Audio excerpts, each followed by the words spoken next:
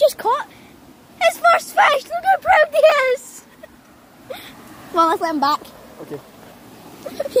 you, are so... bro. Callum, good job, bro. inches long. Where? 16th um, uh, minnow from North Calder Water. Minnow from North Calder Water today. Here's the shit.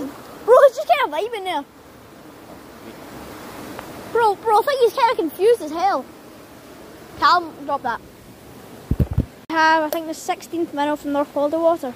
Got, a, got another, like I think it's a 17th fish.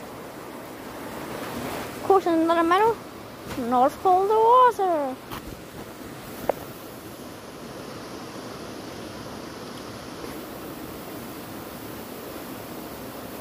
I it was crap. See none.